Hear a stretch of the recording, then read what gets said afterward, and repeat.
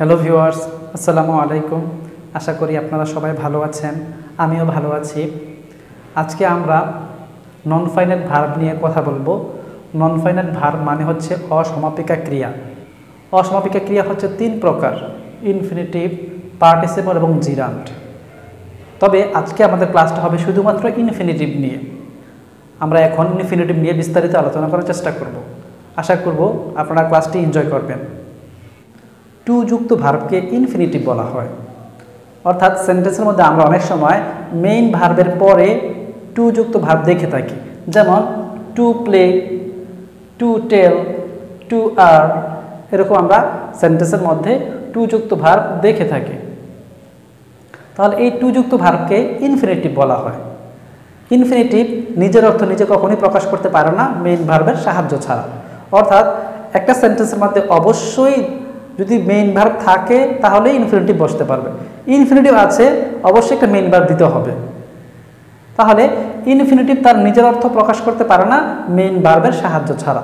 Infinitive সেন্টেন্সের শেষেও বসতে পারে ইনফিনিটিভ সেন্টেন্সের প্রথমেও বসতে পারে ইনফিনিটিভ সেন্টেন্সের মাঝখানেও বসতে পারে। যেমন to go to play to go to tell to R infinitive সেন্টেন্সের বিভিন্ন জায়গায় বসতে পারে, যেখানেই বসুক না কোনো ইনফিনিটিভ মেইন ভার্বের সাহায্য নেবে, তারপর সে নিজের অর্থ প্রকাশ করবে। যেমন আমরা উদাহরণটা দেখি, Zishan likes to play Zishan খেলতে পছন্দ করে। এখানে যদি লাইক শব্দটা বাদ দিয়ে দিই আমরা, যদিও টু প্লে একটা ভার্ব এটা infinitive verb infinitive verb main ভার্বের সাহায্য ছাড়া অর্থ প্রকাশ করতে পারে না। এর উদাহরণটা হচ্ছে, জিশান টু প্লে যদি বলা হয় লাইক শব্দটা বাদ দেওয়া হয় তাহলে এর অর্থ হচ্ছে জিশান খেলতে।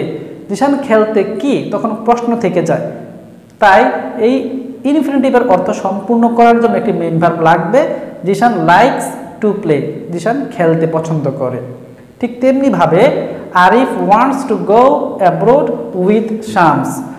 Arif শামসের সাথে বিদেশে যেতে চায়। যদি আমরা ওয়ান্টস শব্দটা বাদ দেই, Arif to go abroad with Shams. Arif শামসের সাথে বিদেশে যেতে যেতে, শুধু বলা হয়, যেতে কি? তখন প্রশ্ন থেকে যায়। তখন ওয়ান্টস চায়, বিদেশে যেতে চায়, তখন অর্থটা সম্পূর্ণ হয়। অর্থাৎ ইনফিনিটিভ মেইন ভার্বের সাহায্য ছাড়া নিজের অর্থ প্রকাশ করতে পারে না। সেন্টেন্সের মধ্যে ইনফিনিটিভ অনেক সময় সাবজেক্ট হয়, অনেক সময় অবজেক্ট হয়, অনেক সময় কমপ্লিমেন্ট হয়। তাহলে সেন্টেন্সের মধ্যে ইনফিনিটিভ কি হয়? Noun pronoun adjective verb adverb যদি প্রশ্ন করা হয় জিশান লাইকস টু প্লে এখানে টু প্লে কি হিসেবে বসছে? ভার্ব হিসেবে বসছে, নাকি নাউন হিসেবে বসছে, নাকি অ্যাজেক্টিভ হিসেবে বসছে? তখন আমরা অ্যান্সার দেব টু প্লে এখানে ভার্বের অবজেক্ট হয়েছে লাইকস ভার্বের অবজেক্ট হয়েছে, তাই এটা হচ্ছে নাউন আমরা জানি ইনফিনিটিভ সেন্টেন্সের মধ্যে নাউন অথবা ভার্ব হিসেবে বসে। কিন্তু আমরা শুধু একটাই অ্যান্সার দেব, সেটা হচ্ছে নাউন অর্থাৎ নাউন হিসেবে সেন্টেন্সের মধ্যে বসে।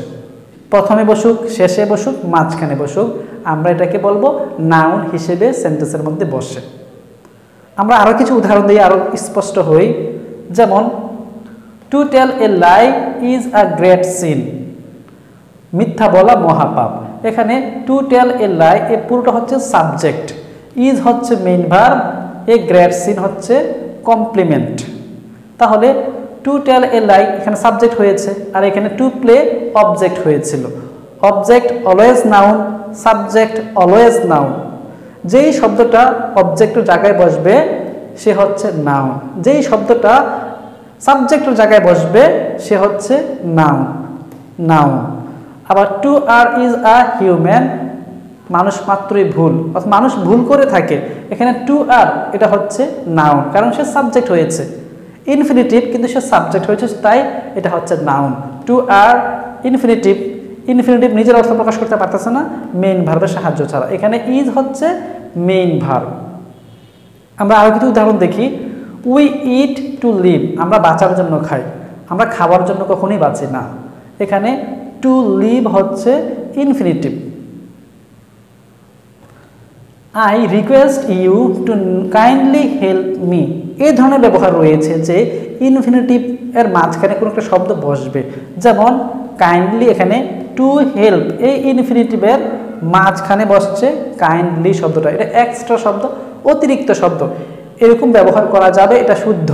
যে টু এবং হেল্প এই ইনফিনিটের মাঝখানে একটা কাইন্ডলি শব্দ বসছে, অবশ্যই সেটা হবে অ্যাডভার অবশ্যই অ্যাডভার বসতে পারবে। তাহলে আই রিকোয়েস্ট ইউ আমি তোমাকে অনুরোধ করছি টু কাইন্ডলি হেল্প মি দয়া করে আমাকে সাহায্য করো। এখানে হেল্প এবং টু এর মাঝখানে কাইন্ডলি শব্দটা বসছে, এই কাইন্ডলি শব্দটা হচ্ছে অ্যাডভার এখানে আমরা তিনটা উদাহরণ দেখব, যে তিনটা উদাহরণের মধ্যে টু ছাড়া ভার দেখা যাচ্ছে।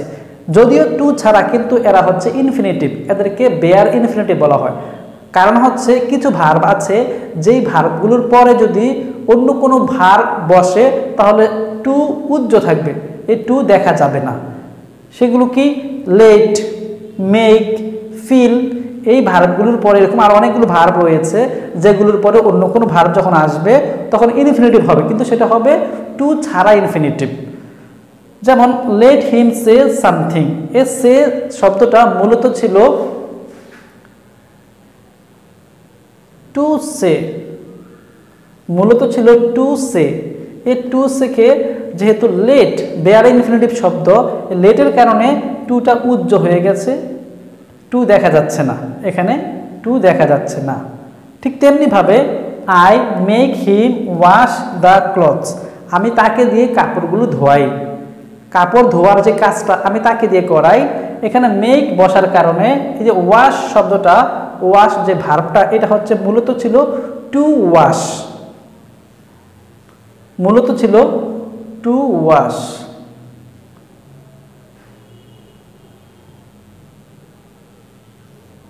টু ওয়াশ ছিল, কিন্তু মেক বসার কারণে এখানে ওয়াশ টু ছাড়া হয়েছে, অর্থাৎ বেয়ার ইনফিনিটিভ এরকম কিছু শব্দ রয়েছে, যে শব্দগুলোর পরে ইনফিনিটিভ বসবে, তবে সেটা টু দেখা যাবে না, উচ্চ অবস্থায় থাকবে। আমরা আরেকটি উদাহরণ দেখি। I felt the cold air strike me আমি এমন ঠান্ডা বাতাস ফিল করছি যে ঠান্ডা বাতাসটা আমার জন্য সমস্যা, আমার বাধার কারণ হয়ে দাঁড়িয়েছে। এখানে ফেল শব্দটার কারণে ফেল মূল ভাবটা হওয়ার কারণে এখানে স্ট্রাইক আরেকটি ভার্ব ব্যবহৃত হয়েছে। এই স্ট্রাইক ভার্বটার আগে টু ছিল, কিন্তু টুটা দেখা যাচ্ছে না উজ্জ্ব অবস্থায় রয়েছে। এটা হচ্ছে বেয়ার ইনফিনিটিভ তাহলে ইনফিনিটিভ হচ্ছে টু যুক্ত ভার্ব যেই কোনো টু যুক্ত ভার্বকে আমরা ইনফিনিটিভ বলব। ইনফিনিটিভ শব্দের শেষে বসতে পারে ইনফিনিটিভ শব্দের মাঝখানে বসতে পারে ইনফিনিটিভ শব্দের প্রথমে বসতে পারে। ইনফিনিটিভ যেখানেই বসুক না কেন, আমরা বলব যে ইনফিনিটিভ হচ্ছে নাউন যেটা মূল ভার্বের সাহায্য ছাড়া নিজের অর্থ প্রকাশ করতে পারে না। আমরা এখন এমন কিছু শব্দ দেখব, যেই শব্দগুলোর পরে সাধারণত ইনফিনিটিভ বসে।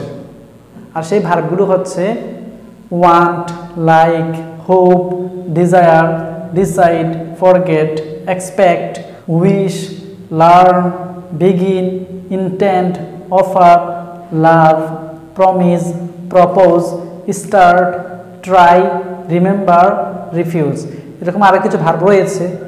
অর্থাৎ এই ভার্বগুলোর পরে অবশ্যই যদি কোনো ভার্ব বসতে চায়, সেই ভার্বটা অবশ্যই টু যুক্ত ভার্ব হবে, অর্থাৎ ইনফিনিটিভ হবে। আর ইনফিনিটিভ মানে হচ্ছে টু যুক্ত ভার। যেমন আমরা কিছু উদাহরণ দেখি।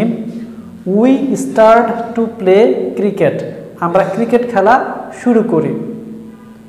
তাহলে এই স্টার্ট ভার্বের পরে আরেকটি ভার্ব হয়েছে, সেটা হচ্ছে টু যুক্ত ভার্ব অর্থাৎ ইনফিনিটিভ হয়েছে। ঠিক তেমনিভাবে I love to sing a song এই লাভ শব্দটার পরে লাভ ভার্বের পরে আরেকটি ভার্ব হয়েছে, তবে সেটা টু যুক্ত ভার্ব হয়েছে, অর্থাৎ ইনফিনিটিভ হয়েছে। She decided to go to hospital সেই হসপিটালে যেতে ডিসাইড করেছিল। তাহলে এই ডিসাইড শব্দের পরে আরেকটি ভার্ব হয়েছে, কিন্তু সেই ভার্বটা হয়েছে টু যুক্ত ভার্ব অর্থাৎ ইনফিনিটিভ হয়েছে। তাহলে এই ভার্বগুলোর পরে অবশ্য যদি কোনো ভার্ব বসে, সেটা হবে ইনফিনিটিভ বা টু যুক্ত ভার্ব কারণ আমরা জানি কিছু ভার্ব রয়েছে, যেই ভার্বগুলো পরে ইনফিনিটিভ হবে না। অর্থাৎ জিরান্ড হবে, অর্থাৎ আইএনজি যুক্ত হবে। যেমন সে একটা উদাহরণ দিলে আপনারা ক্লিয়ার হবেন। I saw him reading.